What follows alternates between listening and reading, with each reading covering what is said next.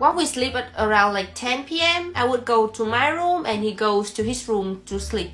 What are you talking about, Sweetie? We always share one bedroom. No, even though we live in the same house, we don't share the bed together. There's only one bed in our house. Where else did I sleep the last two years? The couch?